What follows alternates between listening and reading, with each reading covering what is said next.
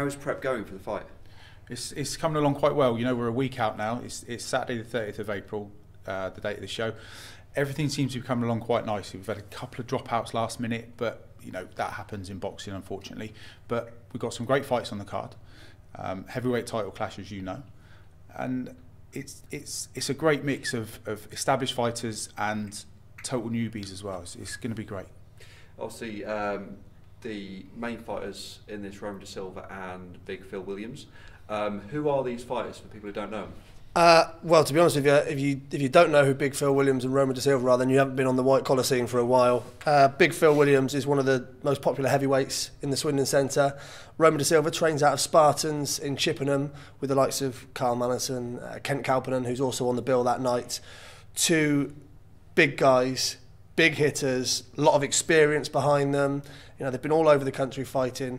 It's going to be one hell of a clash of titans, like the like the name suggests.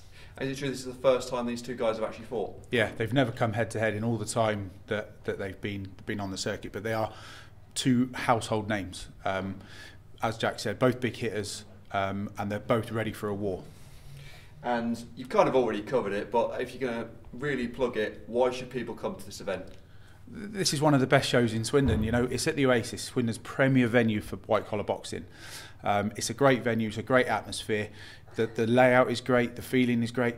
It's, it's just, and it's well run. You know, it's really well run.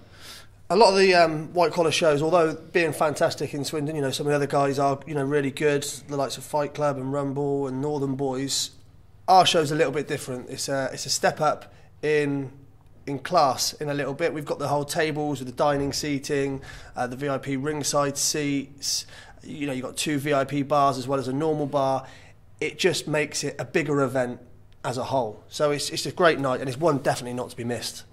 And where can people get tickets? You can get tickets from any of the fighters. You can get tickets from me or Jack directly, or from our website www.iam-promotions.co.uk.